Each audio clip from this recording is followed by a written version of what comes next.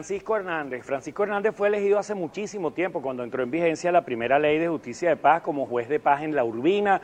Comenzó a acrecentar su servicio, su apoyo a las comunidades y fue nombrado en, una gestión de la alcaldía del municipio Sucre justamente en esas funciones para atender todo el tema de la justicia de paz, la, la, mediación, la resolución alternativa de conflictos. Allí estuvo dos gestiones con un alcalde, lo voy a mencionar, Carlos Ocarí, y fue ratificado en esa responsabilidad por el alcalde José Vicente Rangel Ábalos. Creo que hay un reconocimiento importante, son dos gestiones políticamente diferentes a la gestión, a la sindéresis y la dedicación de este hombre. Él me llamó muy preocupado ayer, Juan Eleazar, y que seas tú mismo, apreciado Francisco, respetado Francisco, que nos comentes a Juancho y a mí cuál es el motivo de tu preocupación.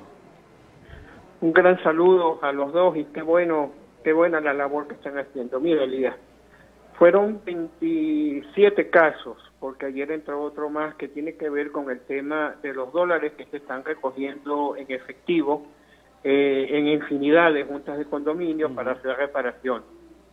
Eh, Elías se está presentando una cantidad de problemas que están terminando hasta en agresiones y en hechos violentos.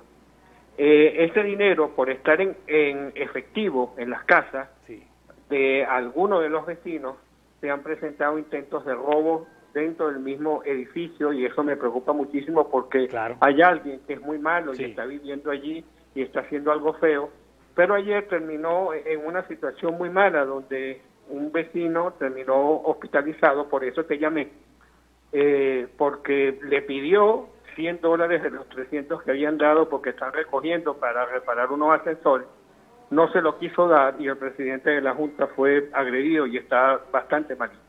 Elías, por favor, yo te agradezco todo el apoyo que le das a, la, a Justicia Municipal de la Alcaldía de Sucre porque yo tengo mis límites Elías, ayuda en esto.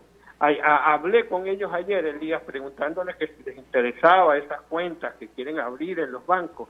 Y tú has de creer que de los 26 pude, pude contactar a 8 por el tema de las comunicaciones y me dijeron que no confiaban depositar su dinero en cuentas de los bancos porque los bancos no prestan buen servicio, porque no confían en los bancos. Esto es algo increíble lo que está pasando aquí.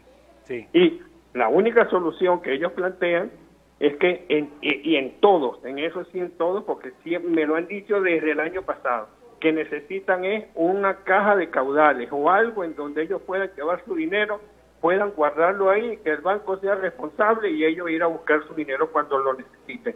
Porque lo importante, Elías, y esta es la realidad, es que el dinero no puede estar en los edificios porque el dinero se distrae, porque ese dinero está en efectivo, porque a cualquiera le provoca. Y esto, ¿cómo, cómo es? Yo no sabía que había edificios que tienen hasta 2, 3 mil, 4 mil dólares y eso enamora a cualquiera. Ayuda, por favor, viejo. Ayuda, Juancho, en esto, por favor. Reúnanse con la gente de los bancos. Búsquenle una solución a esto porque van a seguir ocurriendo problemas por ese dinero en efectivo que están recogiendo y que tienen que tenerlo entonces a la vista y en los edificios.